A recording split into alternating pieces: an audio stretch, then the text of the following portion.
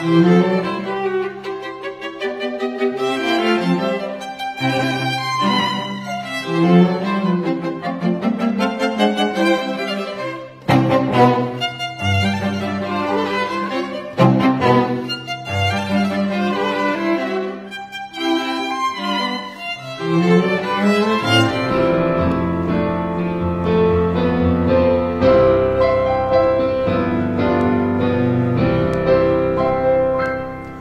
Good morning. First of all, welcome to our humdrum, plain, ordinary church. It all came down this week. in, in, in, just five minutes, it'll go back up. The next 11 months will go fast, I'm sure. And secondly, thank you. Thank you for being here. Uh, those of you watching at home, this is January the 14th.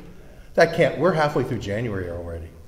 Anyway, we had a whiteout about 20 minutes, half an hour ago, but these brave people braved that and they're here. Thank you for being here. And let's open with a word of prayer. Dear Lord, we do thank you that for the safety of those here today, Lord, and for those who are planning to come to our next service, keep them safe as well. Thank you for the snow, which reminds us of the how, how white our hearts can be when you wash our sins away through the blood of your Son. We are so grateful for that truth to give us everlasting life. And Lord, just be with us, be with those on the roads and those uh, uh, tending to others this morning. May they just be safe and warm, and, and Lord, keep them, keep them under your watchful eye. In Jesus' name we pray, amen. The first song is number 87, Leaning on the Everlasting Arms, number 87.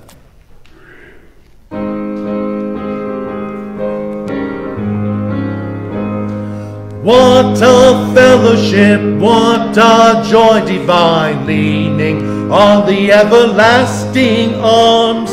What a blessedness, what a peace is mine, leaning on the everlasting arms, leaning, leaning, safe and secure from all alarms, leaning, leaning, leaning on the everlasting arms. Oh, how sweet to walk in this pilgrim way, leaning on the everlasting arms. Oh, how bright the path grows from day to day, leaning on the everlasting arms. Leaning, leaning, safe and secure from all alarms. Leaning, leaning, leaning on the everlasting arms. What have I to dread? What have I to fear? Leaning on the everlasting arms.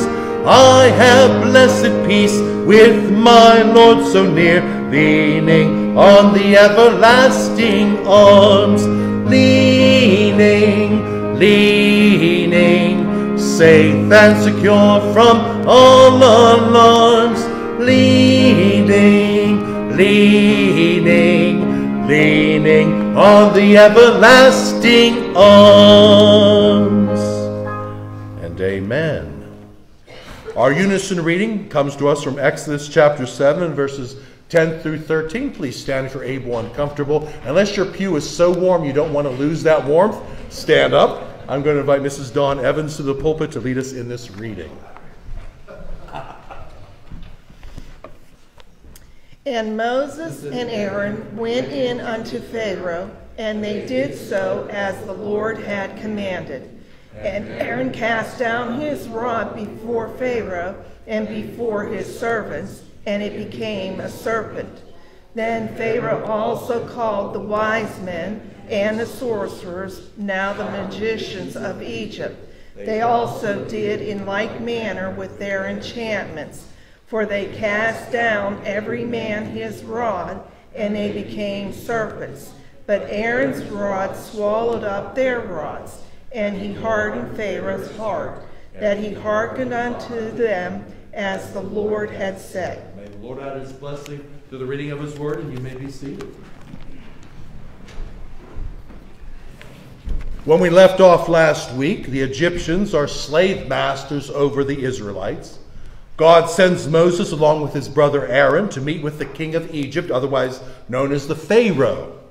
With the full backing and urging and happy support of the Israelites, Moses and Aaron go to the Pharaoh and they make a simple request. They ask the Pharaoh to allow the Israelites three days' freedom so they can go into the wilderness to worship and make sacrifices to the true God Jehovah.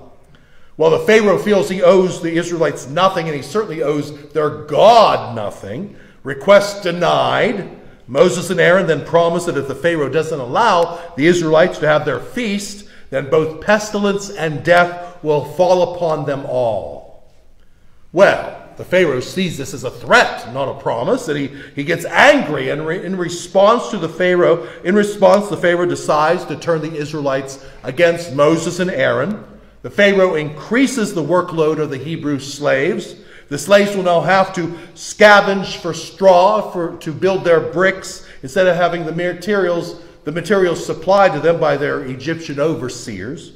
And even though the Pharaoh adds this task of providing their own materials, he does not lighten their quota. He expects the same amount of bricks, the same quality of bricks made daily as before. But because of this added duty, as you can imagine, the slaves fail to produce the same quality and the same quantity of bricks as required of them. They are beaten all the more. The people cry out. They blame Moses for their plight. Moses, their hero, becomes their villain. To them, Moses should have stayed in Midian and minded his own business. When Moses interfered, things got worse for them, and the children of Israel confront Moses and Aaron, blaming them for their situation. You know, this reminds me of some counseling I've done in the past. You know, when you have an abusive parent, you often don't blame the abusive parent, you blame the good parent because they don't, they don't stop the abusive parent. You know, your anger, your disappointment, your discouragement, it's misplaced. You know, they should be mad at the Pharaoh, but no, they're mad at Moses, who's trying to do them this favor. Moses is bewildered by all this. He prays to God. Moses questions why the Lord has failed him. Moses feels the Lord has not been with him as he had promised he would be. God answers back, reminding Moses that he had established a covenant with his forefathers, Abraham, Isaac, and Jacob.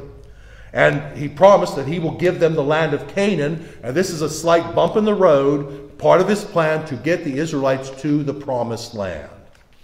You know, God has not forgotten his people, he never does. He hears their groanings as they suffer in bondage. God promises through Moses to stretch forth his hand and deliver his children from the Pharaoh. So Moses speaks to the people, but they will not hearken his words. Their anguish of spirit and cruel and mistreatment, uh, they must now endure clouds their minds and their judgment. In short, they hate Moses. They're hating the wrong person. Anyway, God then tells Moses to go back and tell Pharaoh to let his people go. Moses hesitates. He figures, well, if my own people, the Hebrews, the Israelites, won't listen to me, what chance do I have against, what success will I have against the Pharaoh? The Lord tells Moses that he is going to allow Aaron to speak for the, uh, to the Pharaoh on Moses' behalf. Moses is to relay to Aaron everything God tells him, and then Aaron will deliver this message to the Pharaoh that he is to allow the Hebrews to leave Egypt. I know this seems cumbersome, but you just have to get used to it. We see this for the next several chapters. This arrangement that God talks to Moses, Moses talks to Aaron, and Aaron talks to everyone else. But that's the arrangement they've made. Aaron is to be Moses' spokesperson. But you see, their task gets all the more difficult. As if the Pharaoh is not stubborn enough, God promises to harden that Pharaoh's heart so that he will not listen to reason. We may ask why. I don't know. You know, he's, I guess because he's trying to just display, maybe it's not about the Pharaoh, maybe it's about the Israelites. He wants to display his mighty power and his punishment and his anger against the Pharaoh. And if the Pharaoh is agreeable, then that won't happen. I think he's trying to prove something to the Israelites, but your guess is as good as mine. God purposely hardens the Pharaoh's heart. The Pharaoh won't listen to, uh, even listen when God will bring terrible plagues upon Egypt, but I'm getting ahead of myself on that. So Moses and Aaron, once again, they just walk up to the Pharaoh. I always get tickled by that. You, you just could not walk up to President Biden You could not just walk into the Kremlin. You just couldn't walk into the Taj Mahal or any place where there's any sort of authority. But they somehow, these two schmoes, just somehow go up to the Pharaoh and they have face to face time with him. I suppose that in itself is a minor miracle. God decides it's time for Moses to give some proof to his almighty power. So God tells Moses to tell Aaron to throw his rod, his walking stick, his staff, whatever you want to call it, throw his rod down upon the floor in front of the Pharaoh. And the rod turns into a serpent, you know, a snake. Excuse me. Unimpressed, the Pharaoh summons his royal magicians to throw Moses' attempt of intimidation back in Moses' face. The magicians too throw their rods on the floor, and their rods too become serpents. Looks like they, we have a standoff. Everybody's sticks are serpents. Everyone has snakes on the floor. Moses has not displayed any more prowess than the king's men. But then in a turn of events, Aaron's serpent, Aaron's rod, eats the magician's serpents, proving that the Lord God, Jehovah, has the upper hand and the last laugh. Unfortunately, the Pharaoh uh, decides to ignore this obvious sign of things to come. The king behaves just as the Lord said he would. He stubbornly refuses to listen to reason. So God determines to send 10 plagues upon the Pharaoh and the Egyptian nation. Now, for the sake of time, I will be relaying just the first nine plagues this morning. I'll be doing so very quickly.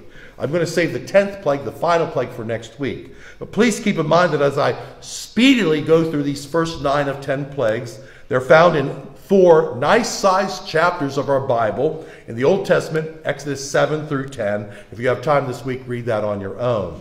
Some scholars say that these nine plagues cover a period of a few weeks. Some say 40 days. Some say this, all these plagues took over a year. I don't know. No one knows for sure. But I don't want my going through these quickly to give you a sense of the, the, the timing on this was as quick as I'm talking anyway. Let's go to plague number one. The Lord tells Moses to tell Aaron to take the rod that changed into a snake, it's now a rod again, and go to the riverside. God then commands Moses to tell Aaron to tell the Pharaoh that the God of the Hebrews orders him to release his people. Moses instructs Aaron to strike the waters with the rod, and all the waters turn to blood. All the fish in the waters die, and the river stinks, as we can all quite imagine. The Egyptians are unable to, to drink this water. I mean, the fish are dying in it, yet it's certainly not drinkable for human consumption.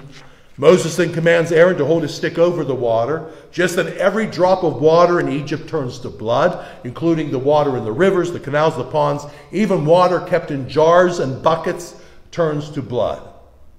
The king still stubbornly refuses to listen. He returns to his palace and he never gives doing what God wants him to do a second thought.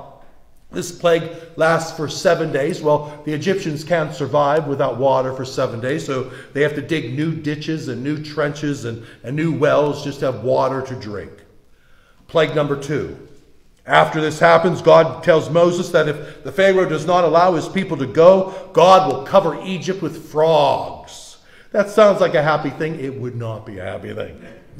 With a hard heart, the Pharaoh will not listen. Moses tells Pharaoh to hold his rod over the waters, and frogs come from the ponds and the rivers. They invade the royal ovens, the beds, their bowls, they're everywhere. Frogs are everywhere, but then the king's magicians use their magic, their enchantments to do the same trick. And by the way, I don't know how the, the, these king's men, these magicians, obviously aren't from God. So either this is a, some sort of magic David, David Copperfield, Doug Henning kind of trick, or they're using Satan's power. Either way, they're not using God's power. I just wanted to point that out. So these, uh, these uh, king's magicians do the same thing. They create frogs out of the waters. But having enough of the frogs, the Pharaoh sends for uh, Moses and Aaron and tells them that if their Lord could make these frogs disappear, and stop bothering Egypt, he will allow the Israelites to go to their feast and to make sacrifices in the wilderness. Well, Moses isn't dumb. Moses instructs the Pharaoh to choose the day. Well, what day are you going to release us? Or is it going to be Wednesday, Thursday, Friday next week? You tell me the day, and that's the day the frogs will leave. The Pharaoh promises, okay, tomorrow, the next day, I will release the Israelites. After Moses and Aaron leave the palace, Moses prays that the Lord removes the frogs that he had sent as punishment to the king. The Lord answers Moses' prayer, but not quite. He doesn't remove the frogs. All the frogs die. In other words, the frogs. Thank you, thank you. Brand new car. Croak is the right answer. The frogs croak. The dead frogs are placed in piles, and the whole country begins to stink all over again. But when the king sees that things are now better, he reneges on his promise. He does not let the people go. Plague number three. The Lord then has Moses to tell Aaron to hit the ground with his rod, and everywhere in Egypt, the dust turns into lice. This is the one that just gives me the creeps. Just lice. And the lice are crawling on all the people and all the animals. But when the magicians this time try to, uh, to, to, to uh, duplicate this, their powers fail them. They cannot do this. The magicians tell Pharaoh, God has done this. We have no power. We cannot duplicate this. But the Pharaoh is too stubborn to listen. Let's move on to plague number four. The Lord tells uh, Moses to go to the Pharaoh and demand that he let the Israelites go one more time. The Pharaoh refuses, so swarms of flies attack every official and every citizen of Egypt. Houses are full of flies and the ground crawls with them. However, the Lord's people in Goshen will not be bothered by the flies. If you remember, generations before this, Joseph, when he brings his family, they don't move into Egypt proper. They move into the land of Goshen because so they could practice, you know, worshiping their own God and not be influenced by the uh, by the Egyptian false gods. Well, apparently God had a plan for this because the people in Goshen aren't living. The, the Israelites are living in the land of Goshen and they're not living among the Israelites. So the frogs don't bother them. Somehow God is protecting the Israelites from these plagues. As predicted, the Pharaoh refuses to listen, and Egypt is tormented by flies. The Pharaoh then gives Moses permission for the Israelites to leave Egypt and to, to make sacrifices to their God. But then, as soon as the plague is removed, the Pharaoh will change his mind and prevents the Israelites from leaving. Plague number five. Oh, we're not done. We have several more. There are more plagues to come. Plague number five all the Egyptian livestock drops dead. Just drops dead. Now, the Israelites, the few livestock they have, they're still alive. But even though this happens, the king will not let the people go. Plague number six. After this happens, boils break out on all the Egyptian skin. The boils are so bad the magicians can't even come when the Pharaoh summons them. The Pharaoh tells the Hebrews to go, but as soon as the boils go away, the Pharaoh changes his mind. Plague number seven. Thunder and hailstones are next. The storm destroys much of their crops, their homes, and their animals, the few animals they have left. And this storm, the, these hailstones are apparently fire and ice coming down. I mean, it's just the worst natural disaster they've ever seen. The king momentarily says he's going to release the Jews, but when the storm stops, he reneges. Plague number eight. As if the previous plagues of flies and lice weren't enough, God sends locusts. It seems like each time the insects get bigger, right? They eat everything, everything that's left, any fruit on the tree. They leave nothing behind for the, uh, no crops or, or, or, plants for the uh, Egyptians to eat. The Pharaoh is agreeable to Moses' request to allow the people to go, but when the locusts leave, he changes his mind. This brings us to the final plague today, plague number nine of ten. This ninth plague is darkness. And I'm talking darkness. Now, I know you all know where you are, where you're sitting, but do you think you could find your way home? You couldn't drive in this, in darkness. Do you think you could find your way home from here? I mean, uh, let, us equate this. I can't imagine what it's like to be blind. You know, my eyes aren't what they used to be, but I still can see. And if we, if you wake up and you can see, even if, with glasses or contacts, you need to be thankful. I just can't imagine. But I've, I've met some blind people who can do wondrous things, even though they've never had sight. That being said, the ninth plague is darkness. God Jehovah blots out the sun on the Egyptians. It is so dark no candle or lamp can countermand the darkness. Yet the Hebrews living by nearby in the land of Goshen, they have light. How is this possible? Well, with God, all things are possible. All through these first nine plagues, the Israelites seem to be protected. Somehow the Hebrews have light while the Egyptians live in darkness. I just mentioned the nine plagues very quickly, but during the torment of most of these, the Pharaoh is agreeable to allow the Hebrews to leave. Then, after each plague ceases, so does the, the uh, Pharaoh's agreeableness, his kindness, and his heart is hardened to renege on his promises. You know, in my book, nine plagues are nine too many. One would have, just the lice one would have been, I, I would do it. I, in fact, I'll leave Egypt with you if you send lice. Nine plagues are nine too many. Unfortunately, the Pharaoh's heart is so hard that nine aren't enough. God sends a tenth final plague. Come back next week and we'll talk about God's tenth plague upon Egypt. Page number 101, the haven of rest. Number 101 in your hymnals, the haven of rest.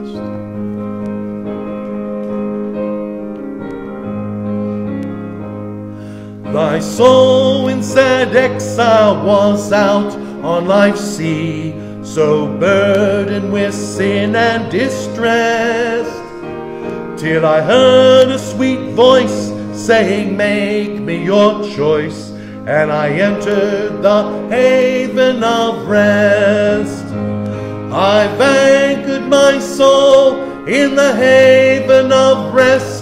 I'll sail the wide seas no more.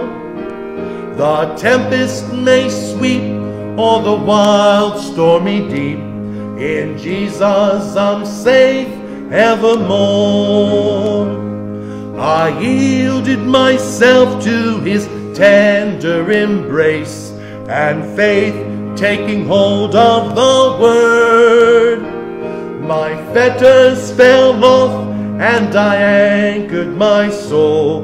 The haven of rest is my Lord. I've anchored my soul in the haven of rest. I'll sail the wide seas no more. The tempest may sweep or the wild stormy deep. In Jesus I'm safe evermore. The song of my soul since the Lord made me whole has been the old story so blessed of Jesus who saved whosoever will have a home in the haven of rest. I've anchored my soul in the haven of rest I'll sail the wide seas no more. The tempest may sweep or the wild stormy deep. In Jesus I'm safe evermore.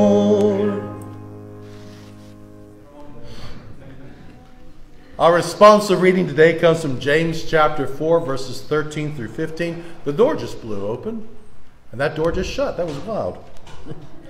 Our responsive reading today comes from James chapter 4, verses 13 through 15. Please stand if you're able and comfortable to stand. I'm going to invite Brother Brian Evans to the pulpit to lead us in this reading.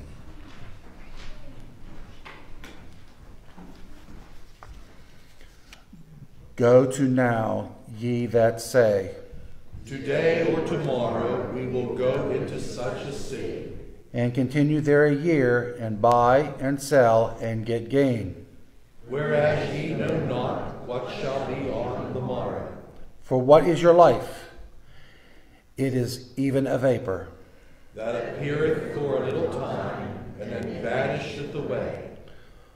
For that ye ought to say, If the Lord will, we shall live and do this or that. Amen. May the Lord add his blessing to the reading of his word, and you may be seated. There are some mighty fine definitions in the Bible. In fact, the Bible is full of wise definitions. Of course, everything in God's Word is wise. I can't deny that. But in the Bible, some mere mortal men offer up some really good, solid definition of some terms. Of course, they do so in the, with the, through the inspiration of God. But I would trust the Bible's definition of terms, even that over of Mr. Webster. For instance, King David very often defines the Lord as his mighty rock. Today, if I call one of you a rock, you might take it as an insult, thinking that I'm implying that you're stubborn or heavy or thick headed. But King David calling the Lord a mighty rock is not an insult at all. In fact, it's a very wise comparison. After all, rocks are huge and they're bigger than us. A rock is not formed by men. Rocks are sturdy. We can be protected against our enemies by hiding in the cleft of the rock. A mighty rock is immovable. King David uses great wisdom in this comparison. I thank you, King David. Let me give you another example. His son, King Solomon, very wisely defines what a fool is.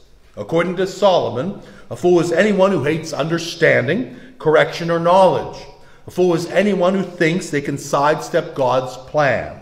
Simply put, if we despise the wisdom of God, we are fools. That's genius. Thank you, King Solomon. But this is just my opinion, but I think of all the definitions and comparisons in the Bible, the wisest of them comes from the book of James. James defines life. More specifically, James defines your life and my life. James asks his readers, For what is your life? And that's a very good question, a question that's been that has evaded scholars and a question that has caused debates for centuries. So what is life? Well, born in 384 BC, philosopher Aristotle said that the meaning of life is to achieve happiness and virtue. And those are two mighty fine goals, I must say, and not a bad definition, but James' definition is better. 17th century French philosopher Rene Descartes uh, defined his life by saying, I think, therefore I am. That's a very wise definition, but not as wise as James. 19th century American philosopher Henry David Thoreau feared that when he would come to die, he would discover that he had not lived. Perhaps unknowingly, Thoreau defined his life as a fear of death. That's an admirable uh, description, but James's definition is better. James does not leave his readers hanging as I have led you, uh, as I have left you hanging today. He quickly answers the question. He says, Life is even a vapor that appeareth for a little time, and then poof, vanisheth away. James says that life is a vapor. Now, our King James Bible puts a U in vapor, but don't be, let that confuse you. We're talking about the same thing with or without the U. Vapor is like steam, it's like smoke from a snuffed out candle. It's just there and then it's not. Let's think about that, ladies and gentlemen. Vapor is a haze, it's a mist, it's ever changing. It's there one second and gone the next. And just like life, once a vapor is gone, it can never be recaptured. That's genius. That's absolute genius. This is a brilliant definition. A vapor sums up our lives perfectly. Let's not skim over this definition. This comparison is very deep and it deserves our attention, so let's pay attention. This might very well change, this definition may very well change our attitudes about everything. By comparing life to a vapor, James shows us, shows us that life is both precious and common simultaneously. That blows my mind. Life is both precious and common. Wow. But we ask, how could that be? Aren't precious and common uh, opposite descriptions? Well, yes, they are. Well, when thinking of life as mere vapor, we can't help but get a sense of urgency, a sense of, uh, of uh, even unrest. If life is but a vapor, then we don't have much time, do we? Life is temporary. It is here and then it isn't. There's not even a minute to spare. We have so much to do with the few moments we're allotted. This means life is very precious. But when comparing life to a vapor, we also get a sense of peace and calmness. If life is just merely a vapor, then why bothering? Why bother getting ourselves so uh, so worked up and upset? Life quickly passes and soon amounts to nothing. All this, all this that we think is so important, all this that we suffer through will quickly pass. In the end, all the things that upset us, all the things that worry us, all the things we value here on this earth won't matter. Life is common. Life is a vapor. It is both precious and common. James is saying that life is a big deal, and yet it's not such a big deal. Just like vapor. Genius. I think it is a wise person who can balance both outlooks Life is short, so we must make the most of the little time we have. Either every moment should be cherished and there is not a moment to lose, grab all we can. Yet, but since life is short, why allow ourselves to be so troubled by all that comes with it? It passes far too quickly for us to be bothered by insignificant things. As they say today, let's not sweat the small stuff and we need to pick and choose our battles. We may well think, well, this James, oh, he's a genius. How wise it is of him to give such a deep, compelling answer. He sums up both the complexities and the simplicities of life with one statement life is a vapor. Well, not to take anything away from James, I'm sure he was very smart, but he no doubt learned this wise philosophy from the best teacher who ever lived. You see, James had a very wise brother who may, may have taught him a great deal. James' brother is a man named Jesus. Yes, that Jesus. Both Matthew 13 and Mark 6 tells us that Jesus is indeed one, I mean, sorry, that James is indeed one of Jesus Christ's brothers. I know what you're thinking. If James is a, is, I'll get it right yet. If Jesus is a son of God, how is it possible that James is Jesus' brother? Well, it's not really relevant to this sermon, but I will give you three theories about this. The first is that Jesus and James are actually cousins, but the, but the Bible calls them brothers. Sometimes in the Bible, especially in the Old Testament, people are not described by their 21st century family definitions. Grandfathers are sometimes called fathers, and nephews are called brothers. So we could chalk this up to a bit of family Bible mislabeling. The second theory is that Mary's husband, Joseph, was a widower before he marries Mary. It could be that Joseph had fathered children to his previous wife before taking on the role of Jesus' earthly father, but there really is no biblical evidence to support this theory. And the third explanation, and the one which I believe, is that after the Virgin Mary gives birth to Jesus, she and Joseph take on the traditional roles of husband and wife, and they have additional children. This explanation actually has biblical support. The book of Matthew tells us that Joseph knew not his wife until she had given birth to Jesus. In other words, they until he uh, eventually after the whole Christmas story, they were intimate. Well, when a husband knows a wife in this in the biblical sense, lots of time children are realized in that knowing, and one of those children most likely was this fellow James. But no matter how you wish to explain their relationship, the Bible says that James and Jesus were brothers. And as Jesus' brother, James sees firsthand that Jesus' life is a vapor. And in that vapor, Jesus finds the balance of having both a calmness and an urgency regarding his own life and his own death. James, after the fact, of course, learns and understands that brother Jesus was born to die. Jesus, knowing that his earthly life would be short and that, his heavenly, that a heavenly life awaits him, for the most part has a calmness about his own death as he willingly and quietly lays down his own life to pay for the sins of this world and to make a pathway for us to have eternal life in heaven. Yet, Jesus, knowing that he does not have long on this earth, fills his precious time by constantly traveling going from place to place and preaching, telling all who will listen that they too can have eternal life in the kingdom of God. He busies himself telling others about an eternal life after this temporary earthly one. And he does not stop preaching this until the very end. Aware that his own death is quickly approaching, Jesus leaves his disciples this soothing advice. He says, Let not your hearts be troubled. In other words, Jesus tells his men not to allow themselves to get too bothered by his physical death. As brutal as it is about to be, Jesus' death just comes and goes. He wants his disciples to be more concerned about the next life that Jesus is making possible by dying.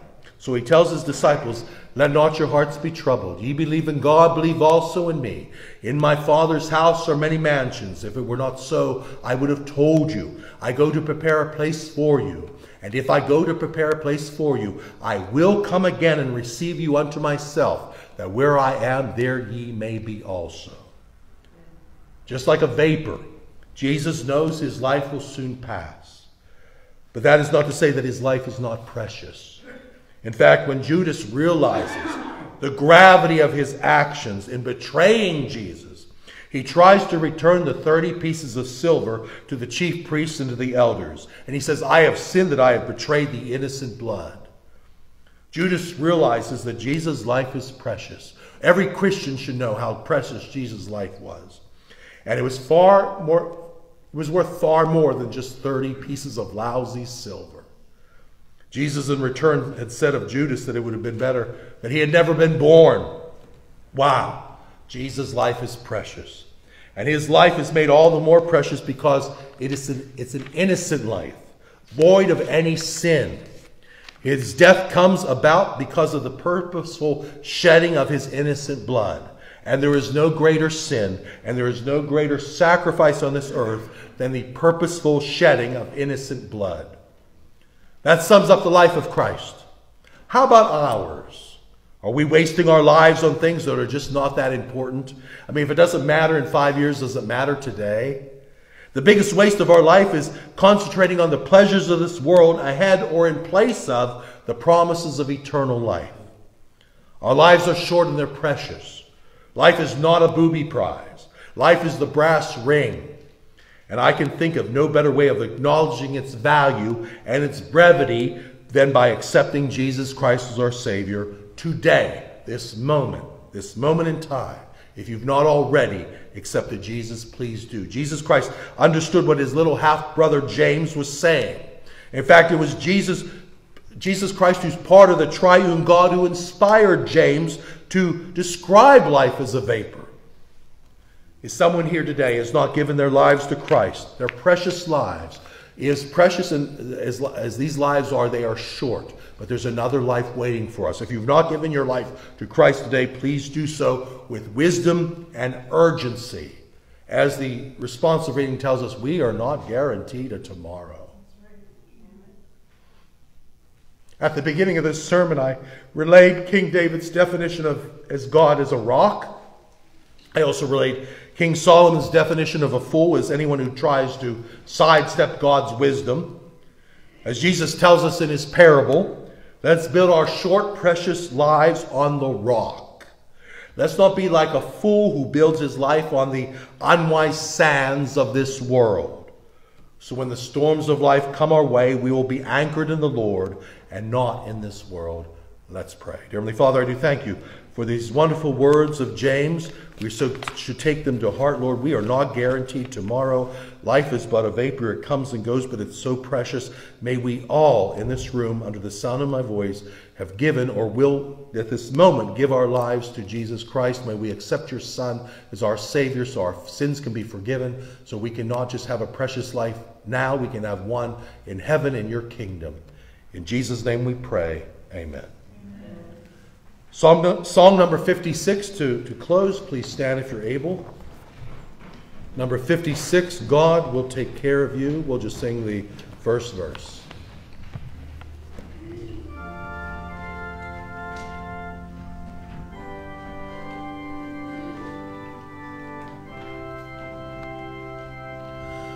Be not dismayed, whate'er betide God will take care of you.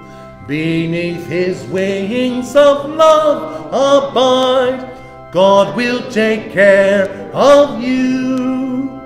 God will take care of you through every day, all of the way. He will take care of you. God will take care of you. And He will.